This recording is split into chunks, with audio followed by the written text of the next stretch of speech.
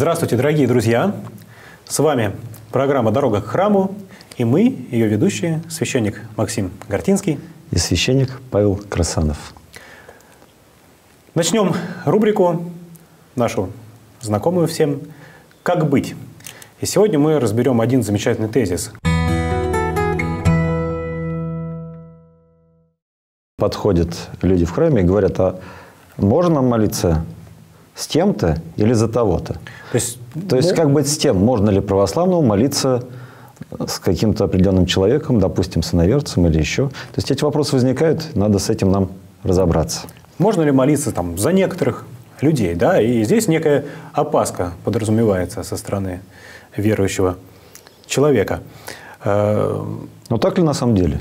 Ну, ну вот да, хотелось бы разобраться, потому что в действительности это э, у нашего народа какие-то вместе сплетаются и действительно э, верования христианские, но в то же время и какие-то совершенно обычные человеческие страхи. Все переплетается вместе, вот, и оказывается...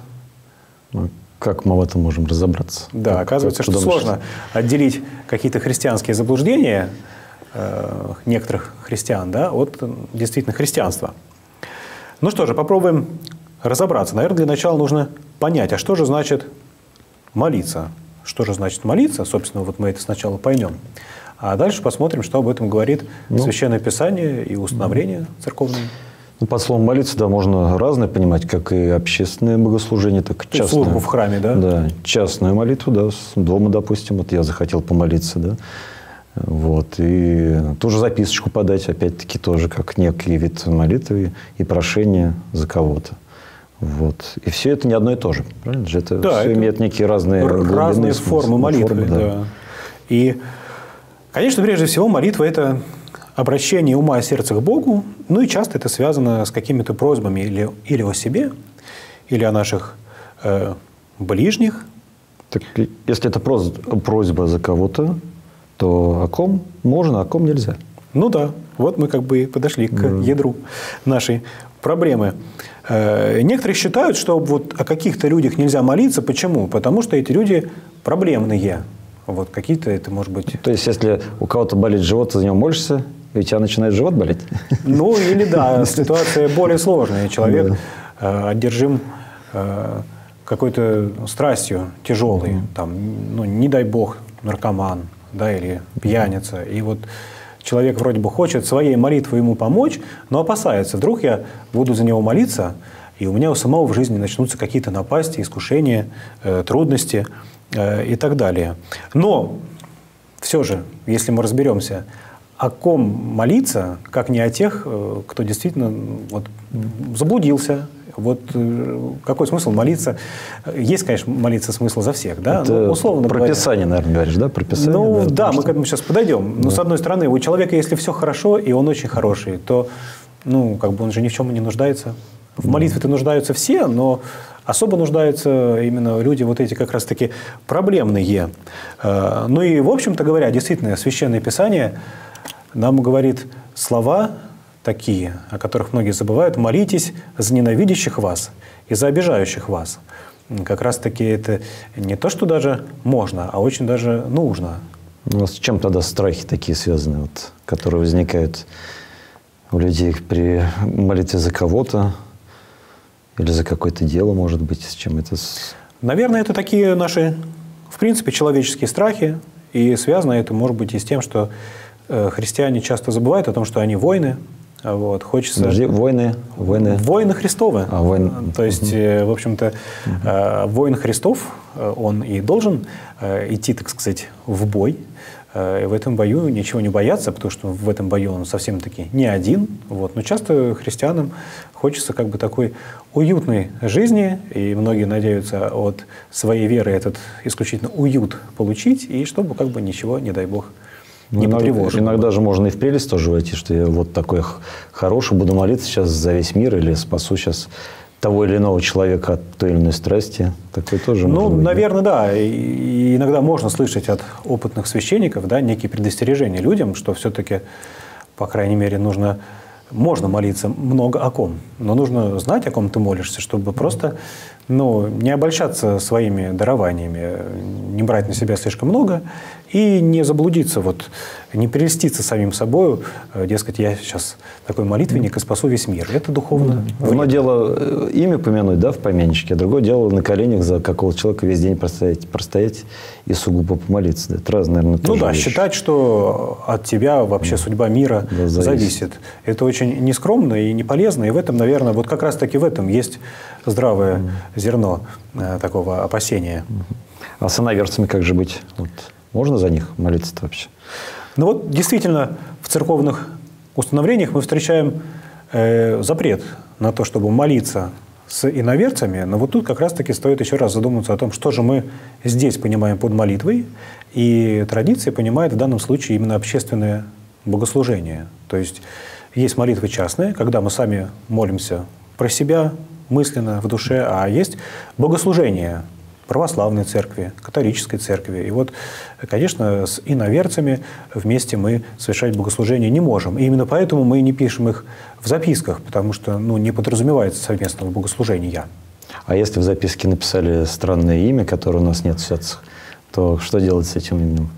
Но нужно удостовериться, прежде всего, крещен ли этот человек. И если mm-hmm. человек крещен, конечно, мы можем за него молиться, э, на богослужении даже, вот, потому что в других православных церквях, не русской церкви, а может быть и сербской, mm-hmm. есть имена нам не очень знакомые. Ну да, в святцах можно не встретить.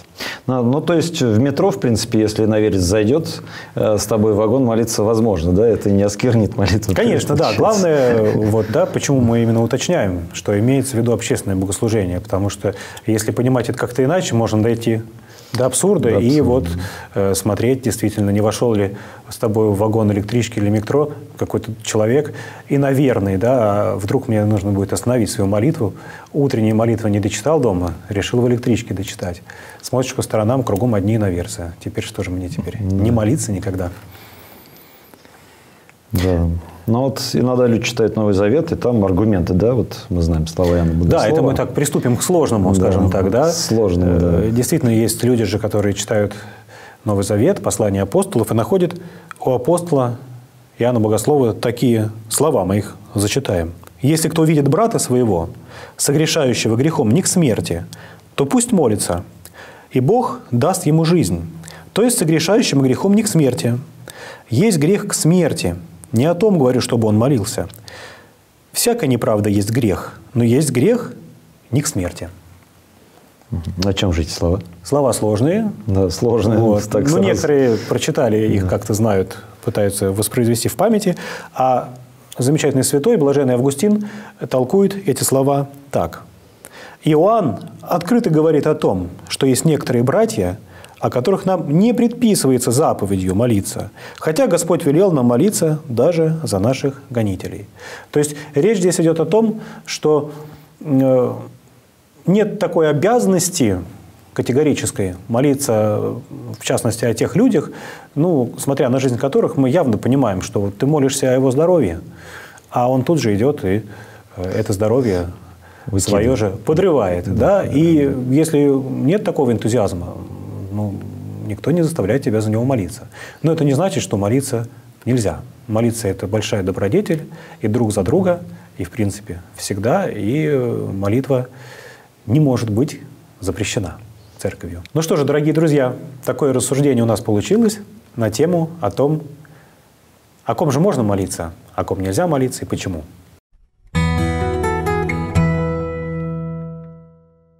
Дорогие друзья, приближается праздник Крестовоздвижения. И сегодня в рубрике «Пять фактов» мы поговорим о некоторых фактах о кресте Господа Иисуса Христа. Факт номер один. Из Евангелия нам известно, что Иисус Христос сам нес свой крест на Голгофу. Действительно, порядок казни предполагал, что осужденный обязан нести свой крест самостоятельно – на иконах часто изображается, как Спаситель несет цельное древо креста, состоящее из двух перекладин. В действительности же распинаемый нес к месту казни только поперечную перекладину. Вертикальное же древо находилось на месте распятия постоянно, закрепленным в земле и могло использоваться многократно. Факт второй. сколько могла весить перекладина креста Господня. Та самая поперечная перекладина креста Господня, которую Христос нес на Голгофу, могла весить от 40 до 70 килограммов и в длину могла составлять около двух метров. Такой вес не так легко нести и здоровому мужчине. Из Евангелия мы знаем, что Христос претерпел бичевание и поэтому был изнеможден и падал под тяжестью креста. Факт номер три. Каким образом распинаемый держал свой крест, когда нес его к месту казни? Обычно приговоренный к распятию поднимал руки по образцу буквы «Т», а воины привязывали руки распинаемого к перекладине со стороны спины. Делалось это с той целью, чтобы осужденный не мог и попытаться убежать. Кроме того, когда распинаемый падал под тяжестью перекладины, у него практически не оставалось возможности не удариться лицом о землю. Факт четвертый. Когда и кем был найден крест Господа Иисуса Христа? Считается, что крест обрела равноапостольная царица Елена, мать Константина Великого. Вопрос о точной дате, когда Еленой был обретен крест, является спорным. Наиболее распространенной является дата – приводимое у Сократа Схоластика, 326 год. Крест был разделен на две части. Одна оставалась в Иерусалиме, а другую же часть креста Елена преподнесла в дар своему сыну Константину, который поместил ее в свою статую, установленную на колонне в центре Константиновой площади. Факт номер пять. Церковный реформатор Жан Кальвин полемически заявлял, в XVI веке в сочинении «Трактат о реликвиях», что из многочисленных частей креста можно было бы построить грузовой корабль. Однако исследователь конца XIX века Шарль Роу де Флери в сочинении «Память об орудиях страстей Христовых» сообщает, что суммарный вес всех документально зафиксированных фрагментов креста составляет всего около трети объема креста. Богослужение в Богородице-Рождественском храме села Тарычево сегодня особенное, торжественное. Здесь отмечается престольный праздник. Храм полон народу. В основном это те, кто бывает здесь постоянно, прихожане. Атмосфера душевная, благостная.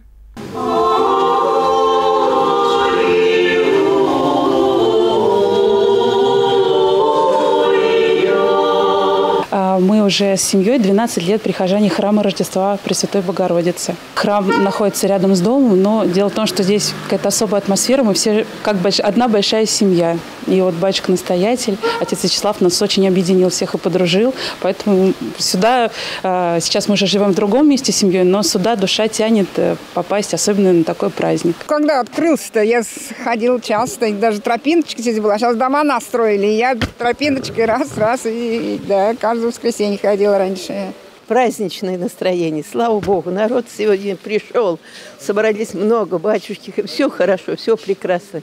Я очень довольна. Спаси нас, Господи, сохрани, помилуй. Прославляю наш храм Пресвятой Богородицы с престольным праздником. Крестный ход завершает обряд праздничного богослужения. По традиции шествующие останавливаются с каждой из четырех сторон храма, произносятся молитвы и верующих окропляют святой водой.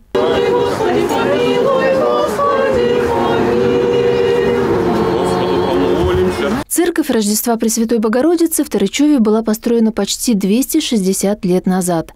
Разные были времена. Советский период, как и для многих других храмов, стал печальной страницей в ее истории. После Возрождения православная обитель ожила, расцвела и сегодня радует верующих. Есть здесь и своя реликвия. У нас икона Троеручица, она считается чудотворной. В 90-е привезли в храм, предложили приобрести икону какие-то люди – назвали там сумму неподъемную. И даже уже отказались. И в, этот, и в какой-то последний момент решили открыть ящик для пожертвований. И вот там вот оказалась вот та нужная сумма. И эта икона очень почитается в нашем храме. А еще известно, что когда-то в храме пел сам Федор Шаляпин. Да, это так. Он несколько раз здесь пел. Дело в том, что здесь очень хорошая акустика. И она даже после реставрации храма, после, она сохранилась. В храме очень легко служить. То есть э, не нужно сильно напрягать голос для того, чтобы передать звук, чтобы вот э, все услышали. На довольно большой территории храма уютно. Все делается своими руками, говорит настоятель Вячеслав Корниенко. Много приходится здесь трудиться на этой территории. А больше всего я люблю межсезонье, когда не, не выпал снег и уже траву косить не надо. Потому что летом это надо косить траву, стричь кусты, а зимой чистить снег. Кто занимается всем? Сами, сами. Когда-то ну, просим и прихожан помочь, но в основном сами, да.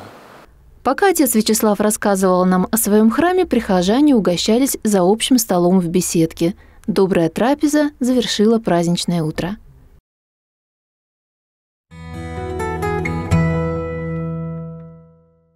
Дорогие друзья, с вами была программа «Дорога к храму» и мы ее ведущие, священник Максим Картинский и священник Павел Красанов.